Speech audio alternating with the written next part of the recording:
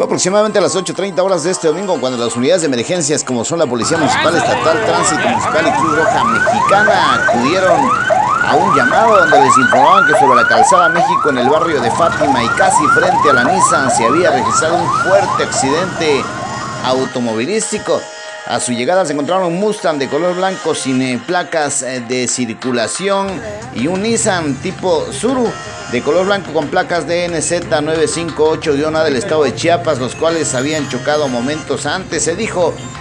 de manera extraoficial, aunque las imágenes se pueden ver como mientras el Mustang, el cual era conducido por Oscar N, de 19 años de edad, circulaba de poniente a oriente, se encontró este Suru conducido por Eric Eduardo, quien salió de un retorno sin precaución alguna y quizás por la velocidad del Mustang no alcanzó a frenar y vino el impacto mortal donde una persona también quizás por el fuerte impacto cayó al piso y se salvó de milagro. De esto, el conductor del Suru quedó en el asiento de atrás de su unidad y aunque fue examinado por los paramédicos, lamentablemente no contaba con signos vitales, mientras que el conductor del Mustang, que en ningún momento se dio a la fuga, fue detenido por tránsito municipal y trasladado a la fiscalía para deslindar responsabilidades.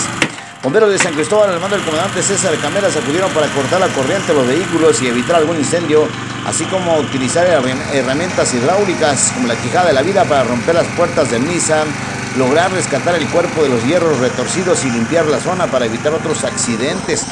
Al lugar acudieron también periciales de la zona altos quienes dieron fe de lo ocurrido y trasladaron el cuerpo al servicio médico forense para la necropsia de ley de esta persona, conductor del sur, quien se supo era empleado de Electra y al parecer de la ciudad de Tuzla Gutiérrez, esto en San Cristóbal.